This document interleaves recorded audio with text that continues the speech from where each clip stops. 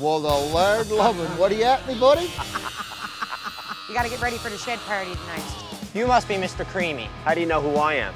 Well, you were all over the news for the scam with my uncle. Please, please. Uh, you were saying I could take Canubra and turn it into a business?